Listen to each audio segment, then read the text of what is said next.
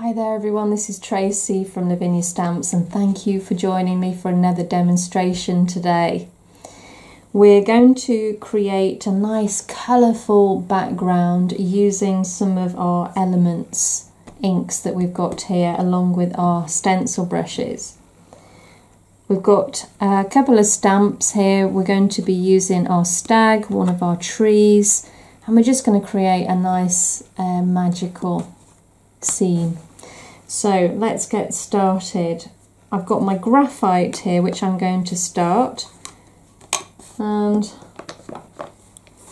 a stencil brush. Now I'm going to ink up the stencil brush and I'm just taking a little bit off first and then very gently just getting the feel of how much ink is on there.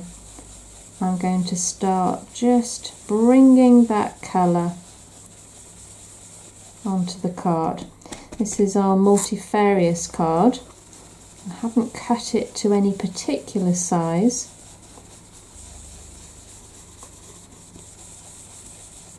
I'll put my lid on that one for now. We will be going back to it. In the meantime, I've got the Russet Orange.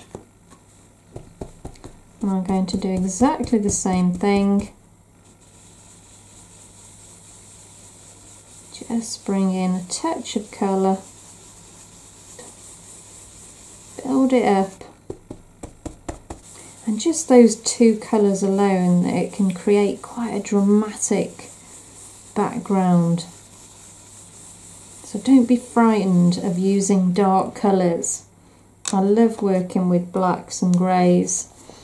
So I need a mask now a hill mask. Let's pick that one and I'm going to go back to the graphite.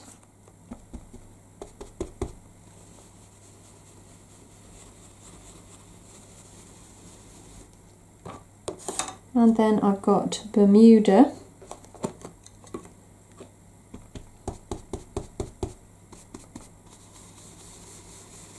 Just bring in a little bit of colour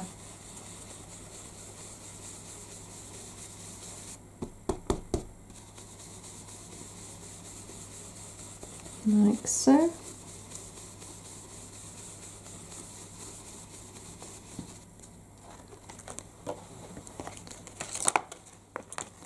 And again,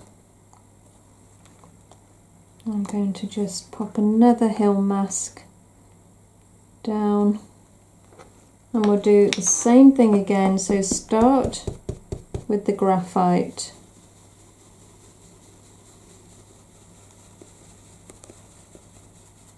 and then the Bermuda.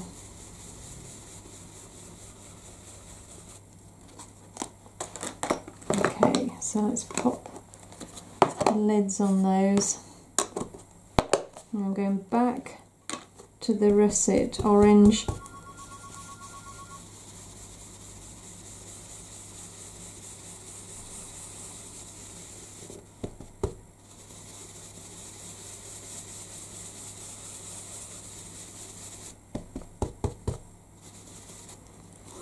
there we go, there's our background. And how quick and easy was that to achieve.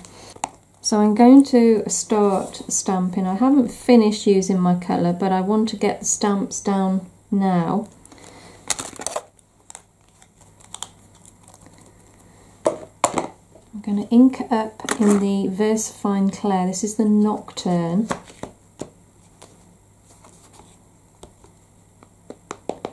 I'm only inking one part of the tree because I'm going to stamp off the edge.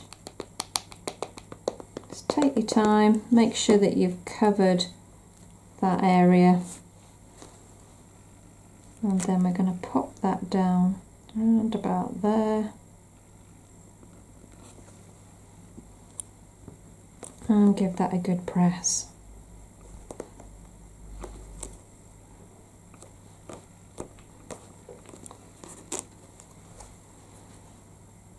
And you've got all that lovely lovely detail in the tree and now we've got our lovely little stag This is the small one.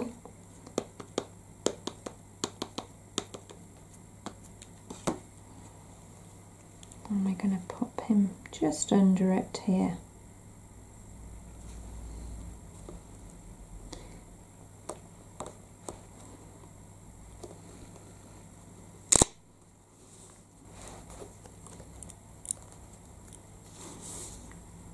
Now I'm going back to the tree.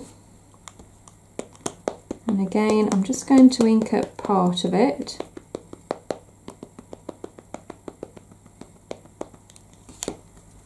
Just want the branches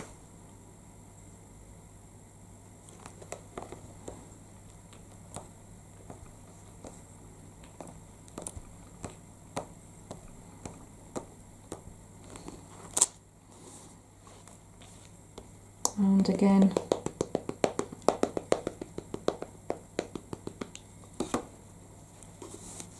Just at the top there. A few more.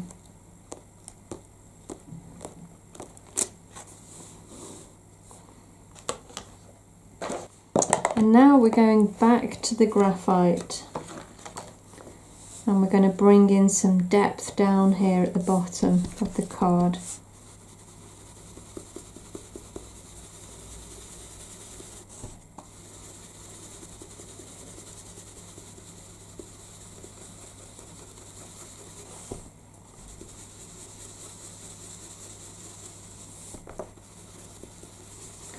just by going around the edge with a darker colour it pulls your eye into the centre more. It makes it quite a dramatic image. So I'm going to ink Shady Lane. And one of our foliage stamps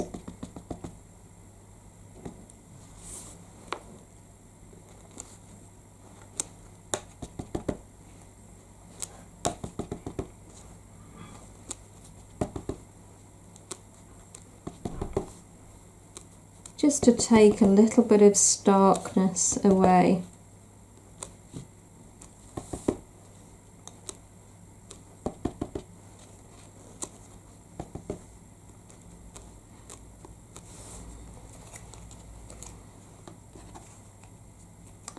And now our fairy charm. And I'm going to ink the stem in the black and I'm going to ink the heart in Glamorous.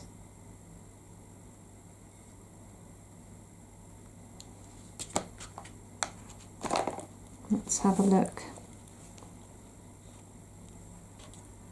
And we'll just do that hanging from the tree branch.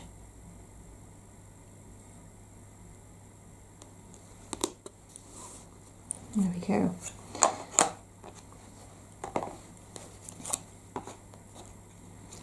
Now I've got another little stamp here, one of my favourite ones. It's great for foliage, for filling in any gaps.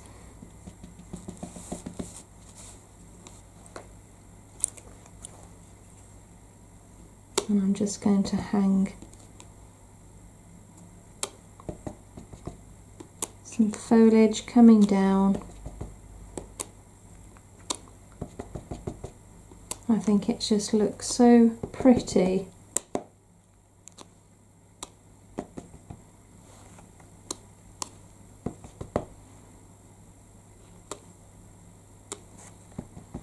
Hanging down.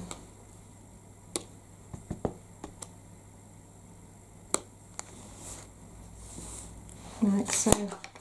Um, we're going to finish off with the Posca pens. So I'm going to bring in a little bit of colour down at the bottom here. So we've got a white and a yellow. Let's just go with those first. Sometimes you just get to know if it needs a little bit more colour. You have to step away from it and have a look.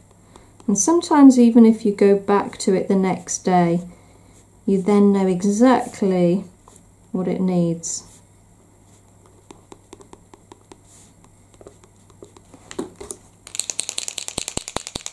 Keep going back to it.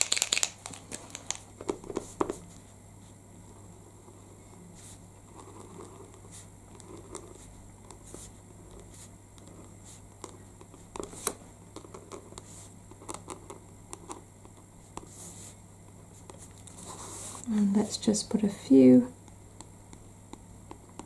stars in the sky.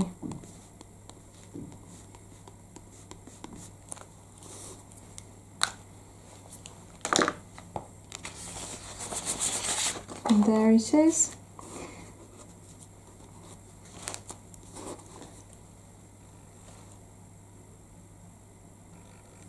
A nice, easy, quick technique that you can use just using your ink pads and stencil brushes and just a couple of stamps. I hope it's inspired you to have a go yourselves, guys. Thanks so much for joining me again. You take care, and I'll see you real soon. Bye for now.